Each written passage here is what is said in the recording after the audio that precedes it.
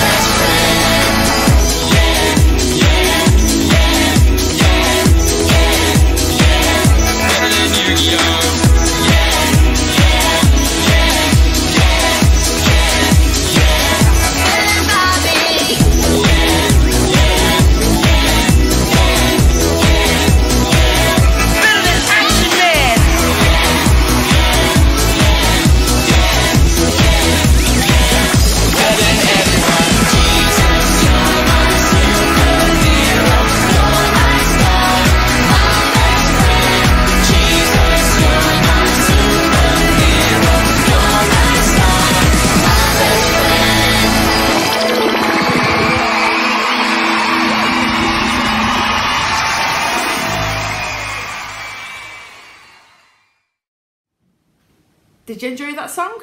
Did you join in with the actions? Are you a superhero?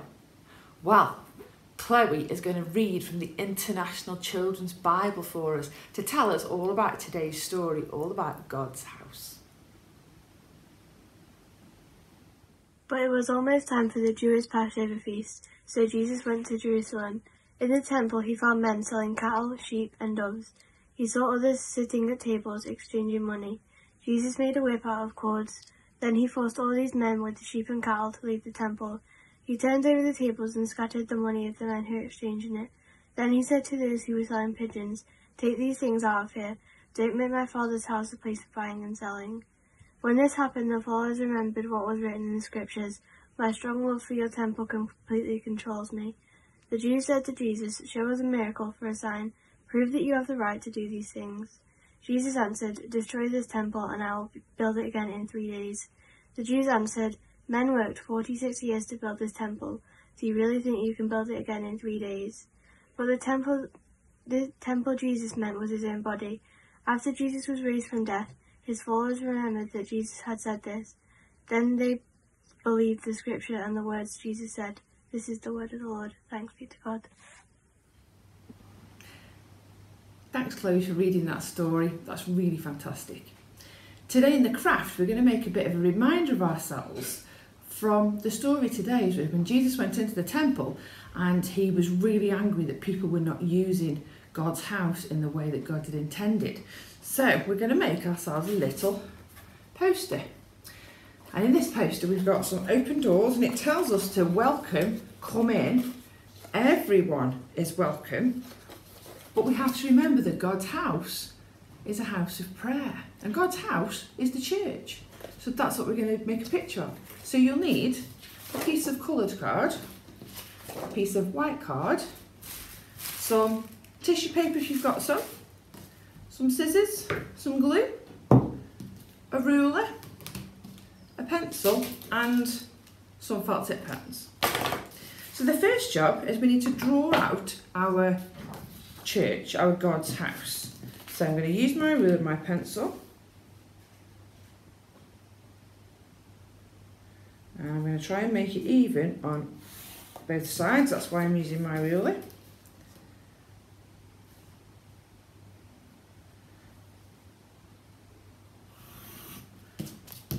Okay. Not quite even.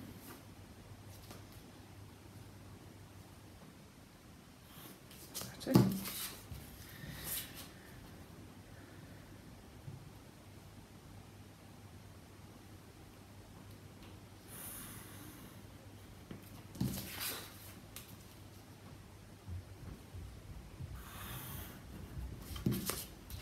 There we go. You can you see I've got the outline of my church and then I'm going to draw the doors at the bottom. Now these are double doors because we're going to use these to be able to open it up.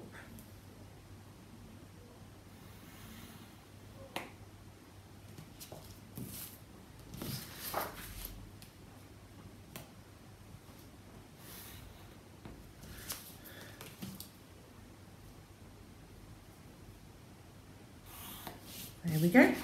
So I've got my doors at the bottom. So I'm going to cut it out. So I cut the outline first, touch around the top.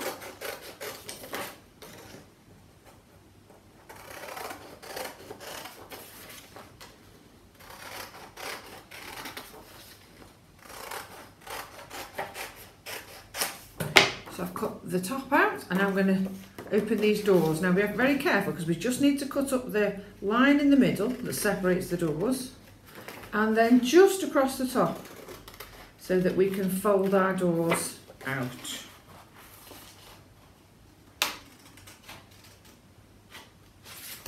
Can you see? So we just be able to fold our doors. So if you fold it onto the, the line that you've drawn, your doors will be able to open or close. Now we need to put a stained glass window at the top of our church. So what we do is fold your drawing in half and then start cutting down.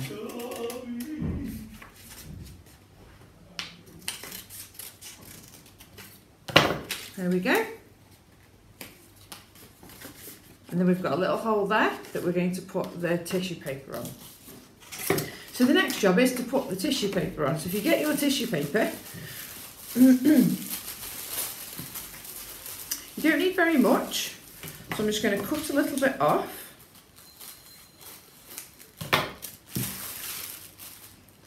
Make sure it covers my hole and it does just about.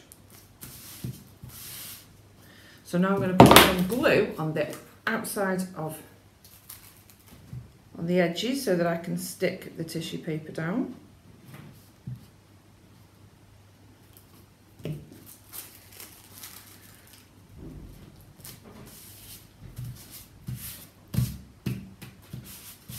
Perfect, and I'll trim it off.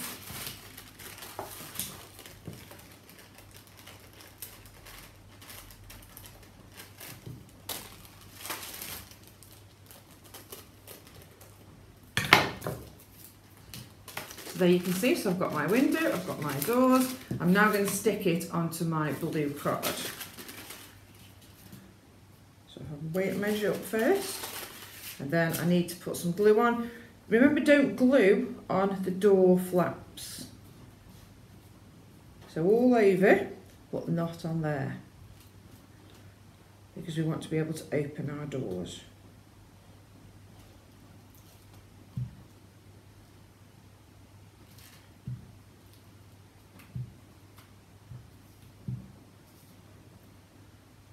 There we go. I'm going to lift it up. There we are.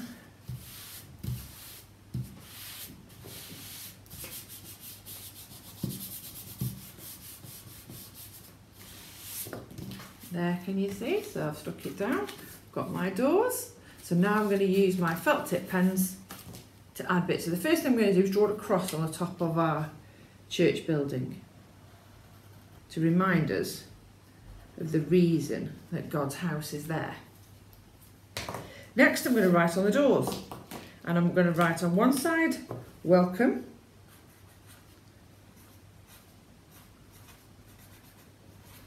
And on the other side, please come in.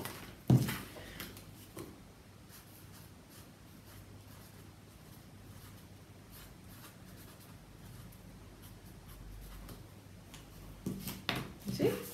Welcome, please come in. And then if you open your doors, on the inside, you're going to, write everyone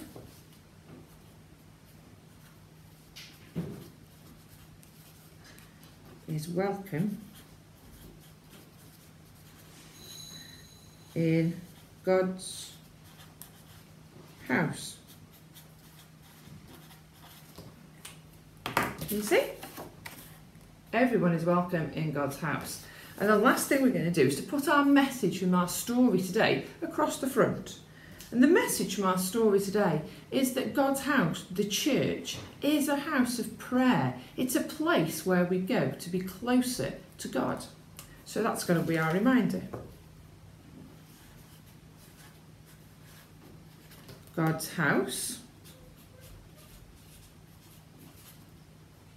is a house of, and I'm going to write prayer in a different colour so that it stands out. It's a really good reminder. And I'm going to write prayer in capital letters. And there we go. There we've made our reminder of God's house. And every time we walk into church, this is what we go for. We go to pray and to go to be closer to God. The Lord's Prayer.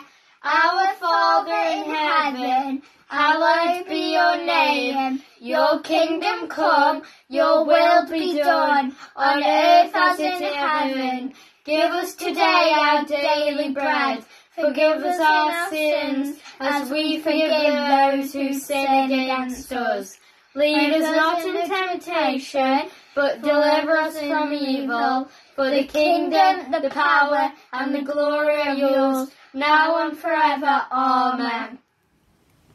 Thank you, Lucy, for that beautiful prayer. I hope you've really enjoyed today and that you've had fun singing and dancing and that you enjoyed making the craft. If you did, please send us some pictures of the craft that you made because we'd love to include them in our main children, the main church service. We'll see you next time. Have a really good week, your first week back at school. Stay safe, and I'll see you next week. Bye.